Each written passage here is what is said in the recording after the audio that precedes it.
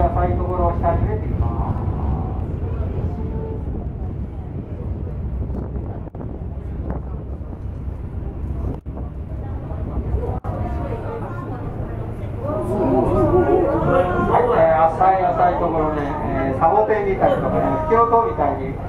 キ、ノコみたいに見えてまいります。ので、これ石井サンゴ、増床サンゴです。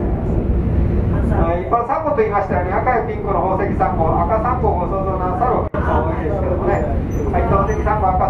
ますのは深海サンゴです。海底100メートルから1000メートルといったね、深い深い光の届かない暗い海。ですからこのようなグラスウォーターなんで人の目に触れるってことはありません、え今浅いところこの下に見えます石サンゴこれせっかりしてできておりますでも動物の仲間になりますね、えクラゲとかイソギンチャクと同じ仲間好調動物と言いましてサンゴも生きてます成長してます、